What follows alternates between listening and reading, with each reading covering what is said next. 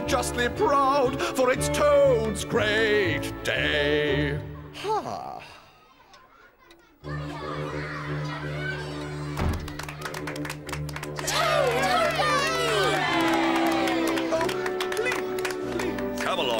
Toad. There are just dozens of people waiting to hear all about the great battle of Toad Hall. No, no, Otter Badgers was the mastermind. I merely served in the ranks and did little or nothing. You're being much too modest. Now come along and tell us all about it. Song! Mr. Toad song! Speech from Toad! No, no, no, thank you, but no. And how are you two young'uns? Very well, thanks, Mr. Toad.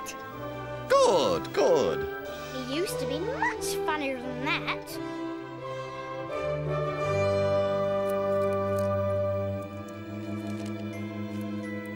With many thanks, sign Toad. Well, I never.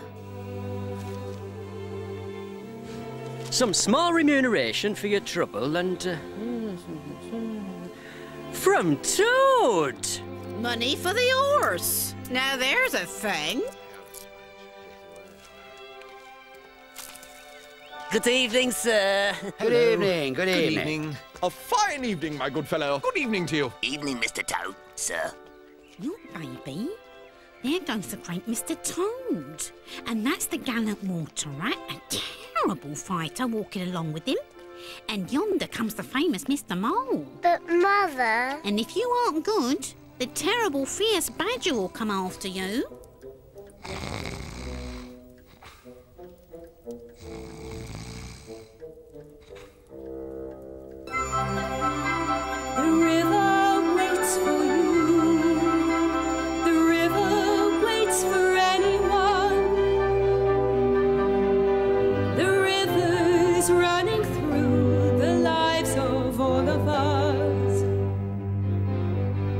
It doesn't take a view.